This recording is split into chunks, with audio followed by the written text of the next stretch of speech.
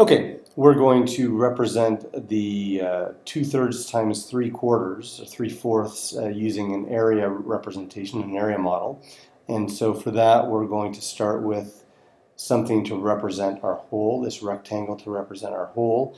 And a reminder that when we're we look at two-thirds times three-quarters, that is the same as two-thirds of three-quarters. Um, and so when we're doing our multiplication, our standard multiplication, you know, five groups of seven is the representation of five times seven. And so when multiplying fractions, we have two thirds of three quarters.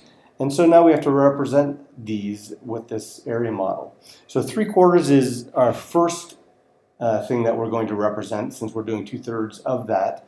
And so we have to break our whole into quarters, into fourths. And so I'm going to break it into halves and then break it into halves again. So we've broken it into four equal vertical pieces. And to represent three quarters of that of the whole, we shade in three of those four pieces. So that's pretty straightforward.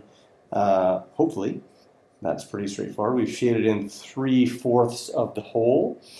And um, now we want two thirds of that. And so we go in the opposite direction to make our third, so we break We've broken this up into fourths vertically with vertical lines. With horizontal lines, we'll break it up into thirds. So there's one, two thirds. So there's one third, another third, and three thirds. And so if you look in any direction, you see one of two fractions. Vertical pieces are in quarters. Horizontal pieces are in thirds. And so now we've got to represent two thirds. And so we'll do that uh, by shading in two of those thirds. So there's one third, there is two thirds shaded in.